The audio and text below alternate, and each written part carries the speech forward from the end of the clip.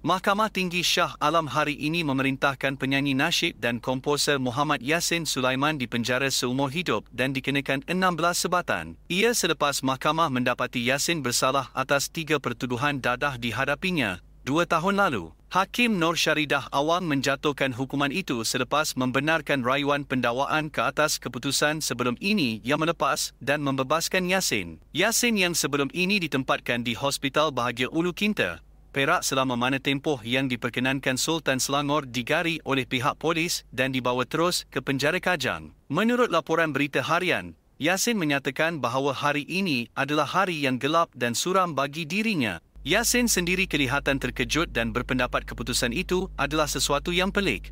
Mengikut pertuduhan pertama yang baharu, Yasin didakwa memiliki dadah berbahaya jenis kanabis dan pertuduhan kedua dia didakwa menanam 17 pokok kanabis dalam pasu plastik berisi tanah. Sementara bagi pertuduhan ketiga, Yasin didakwa memberikan dirinya dadah di Pejabat Narkotik IPD Petaling Jaya pada 24 Mac 2022